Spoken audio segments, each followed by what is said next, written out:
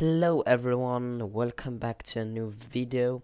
I'm very sorry for the lack of activity on this YouTube channel, but from now I will try to do my best to make better content and post a video every Saturday. So now today I am gonna show you how to install Microsoft Flight Simulator 2020 Google Map replacement. Now let's get right into the video.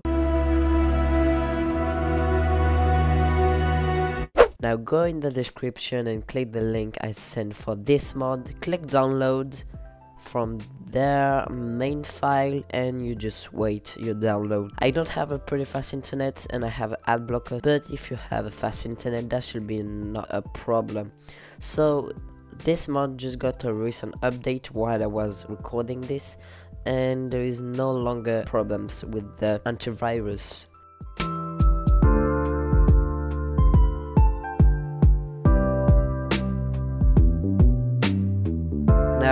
the download is ready. Now just go on your file click extract here. You should have Microsoft Flight Simulator 2020 map enhancement setup. Just click it and then after passing everything which will be packages from your uh, Microsoft Flight Simulator.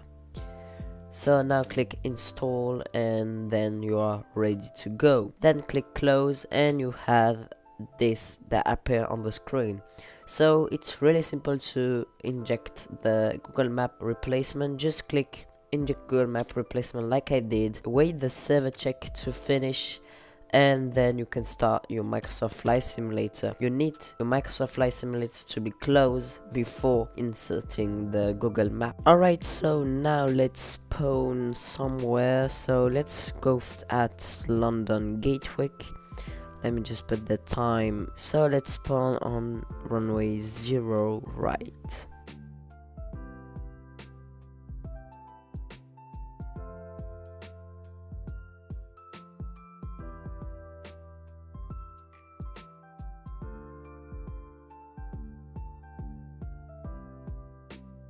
So this is London Gatwick with the Google Map scenery you may not see any differences but there is. So as you can see this is Microsoft Flight Simulator with the Google Map replacement.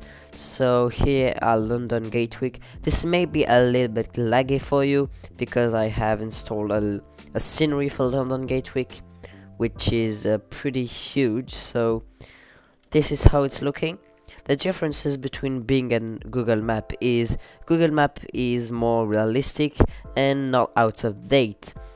Bing is 10 years out of date, so that's why Google Map is better. There is some bugs sometimes with this Google Map scenery. As you can see over here, there is a, a black strip.